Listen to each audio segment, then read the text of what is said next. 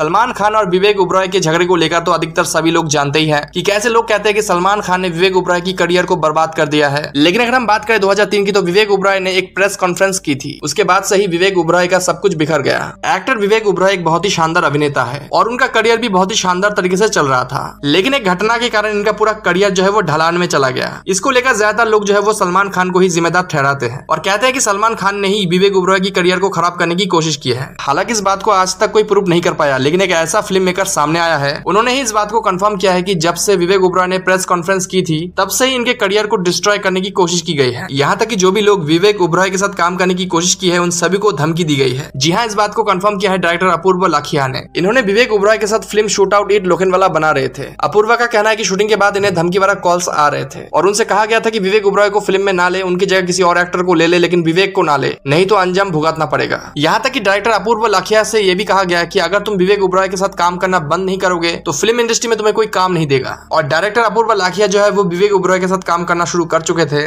और फ़िल्म को बीच में बंद करना बहुत ज़्यादा मुश्किल होता है, बहुत ज़्यादा नुकसान होता है। और कहा जाता है कि इस फ़िल्म के दो एक्टर सुनील शेट्टी और संजय दत्त ने डायरेक्टर अपूर्व लाखिया का समर्थन किया। और कहा कि हम तुम्हारे साथ है, तुम विवेक उबराय को लेकर फ़िल्म बनाओ। और तब जाकर शूट आउट ईट लोखिन वाला फ़िल्म बनी। और सलमान खान और विवेक उबराय के झगड़े का कारण बताया जाता है ऐश्वर्या राय को। और कहा जाता है की ऐश्वर्या राय ने इन दोनों से ही डेट किया था, और वो किस्सा फिर कभी।